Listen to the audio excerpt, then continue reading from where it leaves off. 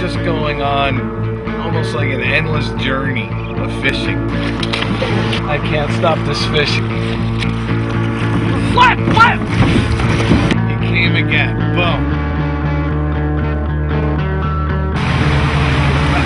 Down, down. Okay, we ran out of gas. We're in the middle of Montana.